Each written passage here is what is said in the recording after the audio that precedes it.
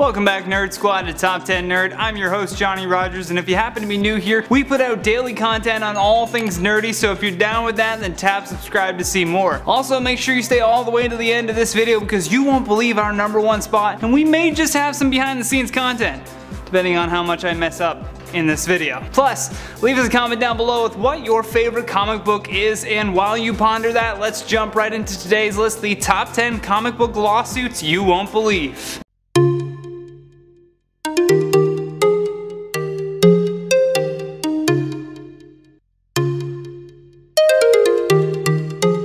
In at number 10, Spawn. First thing, when it comes to lawsuits you won't believe, we have to start with Spawn creator Todd McFarlane suing an ex-employee because he claimed to be the inspiration for the character. Yeah, that happened. In the early 1990s, Todd had hit the jackpot with his creation of the comic book character Al Simmons, whose tragic story would lead him to becoming Spawn. When the comic book became successful, a former employee who, you guessed it, has the name Al Simmons, wrote a book called The Art of Being Spawn. In the book, Simmons suggests more than once that the character was based on his own life and was used as the inspiration. According to a lawsuit filed in an Arizona federal court, Todd sued Simmons for violating the terms of his employment pact which breached his duty of loyalty. McFarlane did ask to use the man's name for the character but his central attributes had nothing to do with his former employee. The main reason for this bizarre lawsuit was that Todd did not want someone else mooching off the comic book that he had created. In at number 9, Liefeld gets robbed. Rob Liefeld is best known as the creator of Deadpool, Cable, Youngblood, and X-Force, plus a version of Captain America. Back in 1990, he had co-founded an independent comic book company with six other former comic book artists who had worked for Marvel. His former partners at Image Comics Incorporated had refused to pay Rob the money that he was owed from the sales of his titles that were distributed through Image Comics. As a result, he filed a lawsuit for $1 million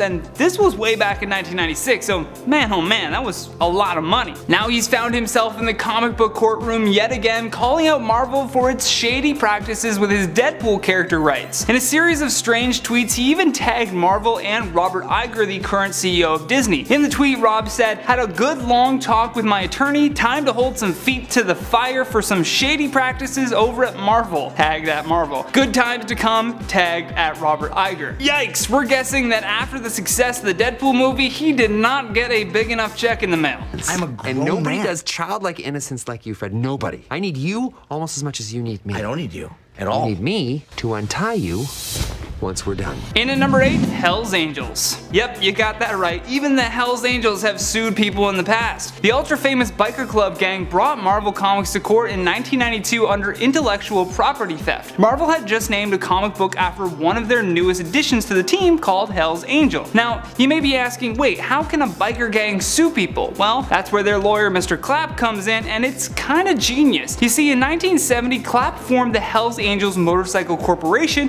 which was a non non-profit established to protect the club's intellectual property. Marvel was accused of using the club's name to get a free ride due to their highly recognizable and powerfully evocative name for the female character that debuted in July of 1992. Marvel not wanting to mess around with the mob, they changed the character's name to Dark Angel and then came to the agreement that they would donate $35,000 to a children's charity. Somehow it makes Hell's Angels the nice guys here?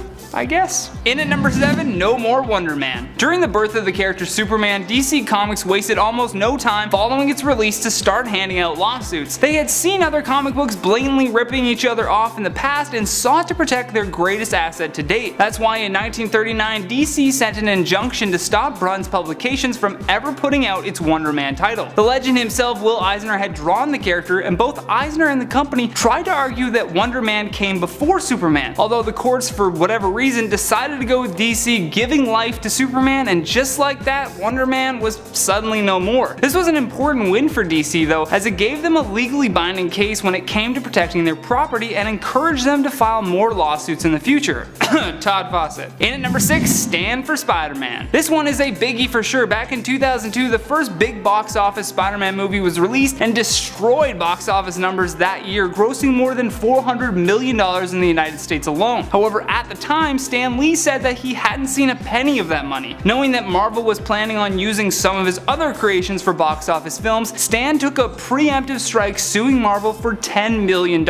In the lawsuit it said, despite reaping enormous benefits from Mr. Lee's creations, defendants have refused to honor their commitments to it. It would take another three years before Marvel finally announced that they had settled all outstanding litigations with Stan, and hopefully he got every last penny. In at number 5, Batman and Bill. Bill Finger had co-created arguably one of the most iconic characters of all time. Batman turned out to not just be a hit with the fans, but became one of the most lucrative comic book characters in the last century even. Another man by the name of Bob Kane was not only taking the credit, but all of the cash as well. Kane had essentially come up with a raw outline of what Batman would look like, but it was the genius of Bill Finger that truly made the Batman into the character we know him as today. The two worked collaboratively on the character, but never split the profits in the same way. It would take nearly 75 years of lawsuits, court battles, artist squabbles, and Bill's own family fighting for his recognition well after he had died for this all to come to a close. We're not exactly sure if there was any payouts to Bill's estate, but he's at least going to be credited now on anything that's Batman related. Good job, Bill's family. In at number 4, the Superman battle. The OG Superman was created by writer Jerome Siegel and illustrated by Joseph Shuster, and at the time, each of them had been credited with a 50% stake in the royalties of the character. This was all well and good until the big dog in town DC Comics rolled up and conned the two of them into selling the character for $130. Yeah, the pair would work on and off with DC Comics until the company no longer really had work for them, and for the majority of their lives, they dealt with a lot of health issues but could barely afford to live off of the money that they were making, all while DC was just raking in billions from their Superman character. The pair had attempted to sue the company, but the law at the time always sided with DC because their contract stated that DC would own the rights to Superman following anything that they had created afterwards. Sorry guys.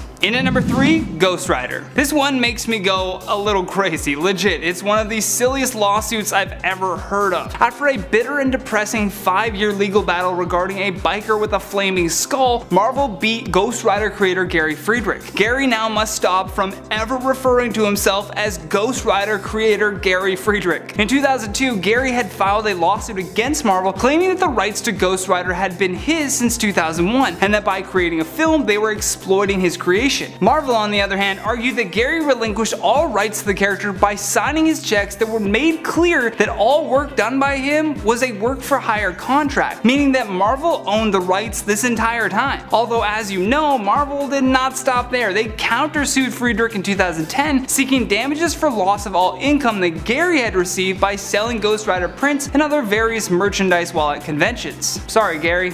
In at number 2, Shazam. In June of 1941, National Comics had sued Fawcett for copyright infringement when it came down to their character known as Captain Marvel. Once Fawcett's Captain Marvel began outselling DC's Superman, they raised the argument that the character's main powers and characteristics were far too similar to Superman's, therefore it infringed on its copyright and then the two would engage in a legal battle that lasted well over 12 years. The judge finally ruled that Captain Marvel was a copy of Superman, but because DC did not place a copyright logo on their comic strips, they could not file under copyright infringement, although DC still fought tooth and nail to reclaim what they believed was theirs. With Fawcett's sales dropping in the early 1950s, the appeal to the first trial really hurt them financially. They agreed to pay out a settlement of $400,000 which would be nearly $4 million in today. DC essentially consumed all of Fawcett's characters after this and renamed Captain Marvel as Shazam. Last but not least in our number one spot, Stan Lee. Back in May of 2018, Stan Lee found himself again battling with a former company of his. This time it was POW Entertainment. Stan Lee was going all out as well seeking a $1 billion lawsuit. Okay? I get it. Look, Brennan, here's the thing. It's the Catalina wine mixer, okay? Are you saying pow? Lee had accused the company's CEO Shane Duffy and co-founder Gill Champion of conspiring, and I quote, to fraudulently steal Lee's identity, name, image, and likeness as part of a nefarious scheme to benefit financially at his expense. This all came following Stan's devastating decline in health, and the case however was soon dismissed by the courts as they deemed the lawsuit meritless. Apparently the company and Stan were able to work out an arrangement behind the scenes and without the court involved. Rest in peace Stan Lee. And that has been the top 10 comic book lawsuits lawsuits you won't believe. Thank you so much for watching, and if you enjoyed this video, show us some love by tapping that like and subscribe button. Plus, leave us a comment down below with your thoughts on this list. And for more videos like this one, all you gotta do is click that playlist from Top 10 Nerd. I'm Johnny Rogers saying until next time, take care. According to a lawsuit filed in Arizona, Arizona, Arizona. You ever been to Arizona? It was on a Monday that I went to Arizona.